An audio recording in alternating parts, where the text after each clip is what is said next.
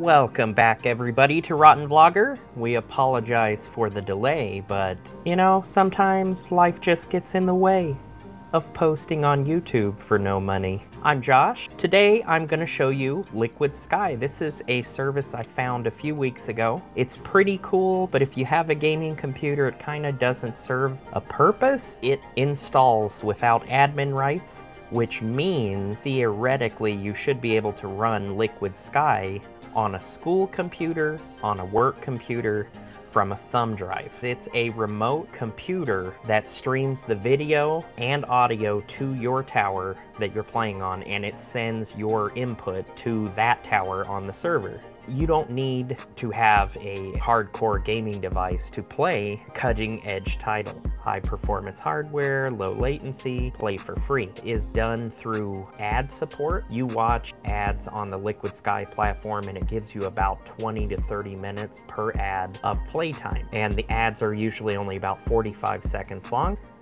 So anyways, these are the two plans that you get to choose every time you turn on your Sky computer. Gamer, it's good for older titles, but if you want to get all hardcore, you can do uh, Pro Gamer.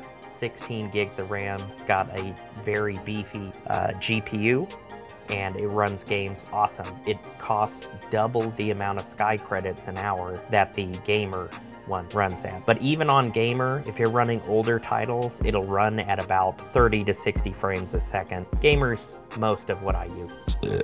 They also have three different pricing tiers. Free is supposed to be just ad supported. This option was not available when I signed up for Liquid Sky. Pay as you go, you pay just once. $4.99 to start.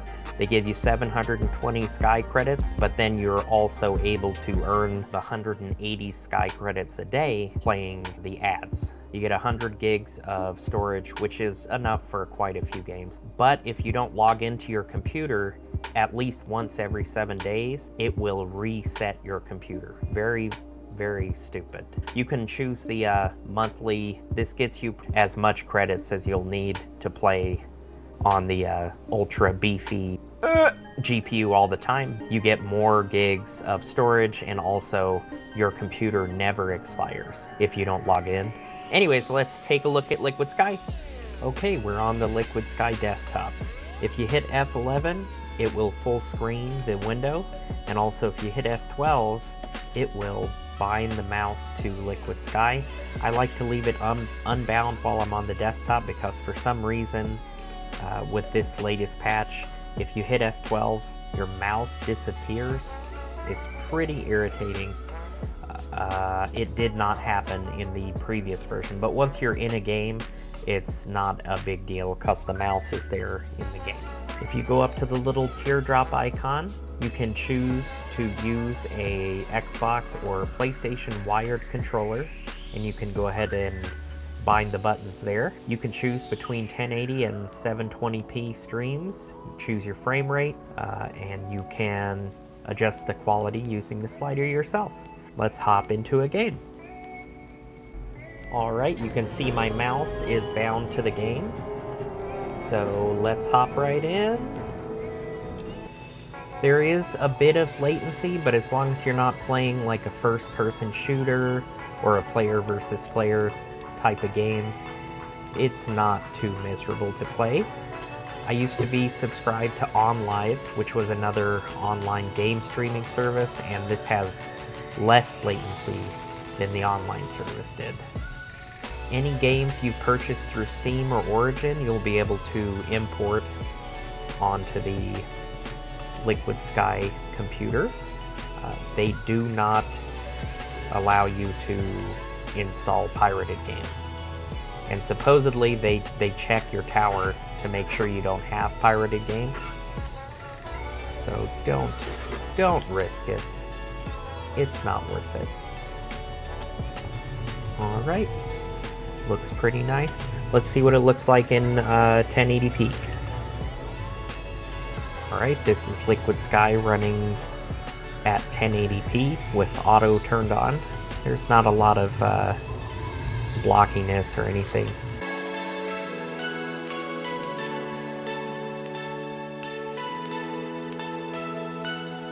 Alright, let's hop into Kodi. I am running a custom build. Kodi does run very nicely on the Liquid Sky computer due to their high bandwidth. I believe my average is about 300 megabits down, uh, so you don't have any problem buffering a title. Let's just hop into something.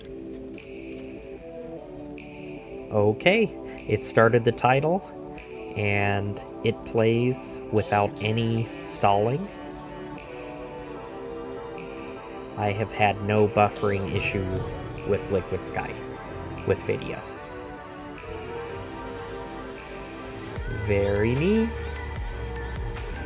So if you're in a hotel room with limited bandwidth, Liquid Sky should be a good option as all the buffering is done on their end.